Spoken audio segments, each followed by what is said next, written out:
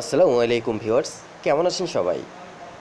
Viewers, এই ভিডিওর আলোচনার বিষয়, দাঁতের পোকা বা ডেন্টাল ক্যারিজের শুরুটা কীভাবে হয়?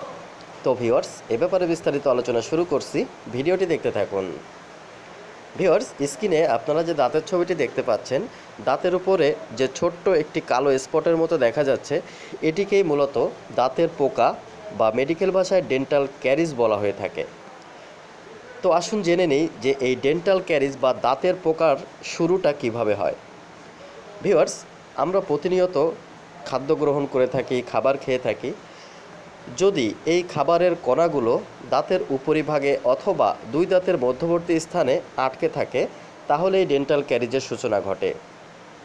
এখানে দেখতে পাচ্ছেন যে দাঁতের উপরে কিছুটা খাদ্যকণা দেখা যাচ্ছে এবং এখানেও কিছুটা খাদ্যকণা দেখা যাচ্ছে। এমন অবস্থায় যদি আমরা অনেক সময় রাত্রে দাঁত ব্রাশ না করেই ঘুমিয়ে পড়ি। যদি এমনভাবে চলতে থাকে, তাহলে যখন আমরা রাতে ঘুমিয়ে থাকি, তখন এই খাবারগুলা নষ্ট হয়ে গিয়ে একটা অ্যাসিডে উৎপন্ন হয়। আর ওই অ্যাসিডটি ধীরে ধীরে দাঁত ক্ষয় করতে থাকে এবং এভাবে কালো করতে থাকে। বড় ব্যাপার হচ্ছে, যদি কখনো দাঁত এভাবে ডেন্টাল ক্যারিজে বা পোকা লাগা সমস্যায় আক্রান্ত হয়, তাহলে কোনো ধরনের ঔষধ নাই যে সেই ঔষধ খেলে দাঁতের এ ধরনের সমস্যার সমাধান হয়ে যাবে।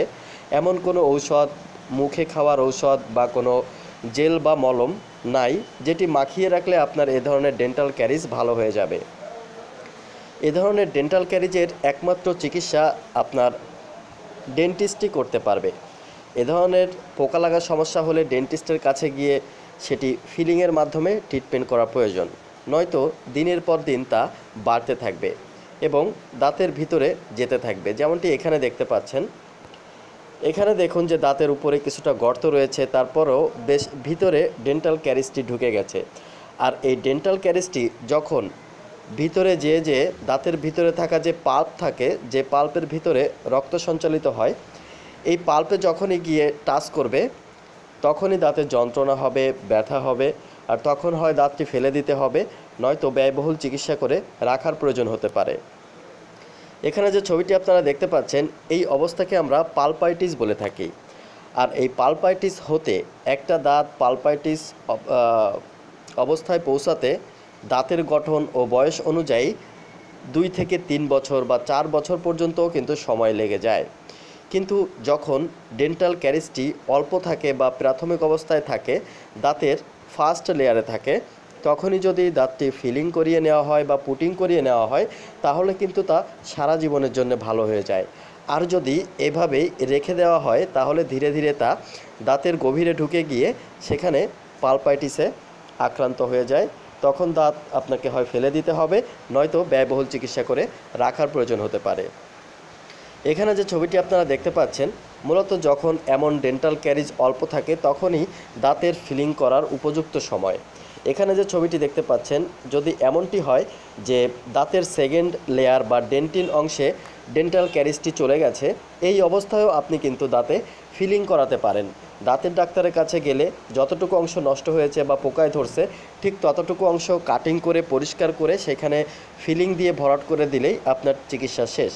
আর যদি এমন অবস্থায়ও অবহেলার কারণে সেভাবে ফেলে রাখা হয়, তাহলে দিনের পর দিন তা বাড়তে থাকবে, দাঁতের গভীরে যেতে থাকবে। এক পর্যায়ে দাঁতের ভিতরে পাল্পে ঢুকে গিয়ে যন্ত্রণা সৃষ্টি করবে। আর তখন আপনাকে দাঁতটি ফেলে দিতে হবে, নয়তো ব্যয়বহুল চিকিৎসা, রুট ক্যানাল ট্রিটমেন্ট করে রাখার প্রয়োজন হতে পারে।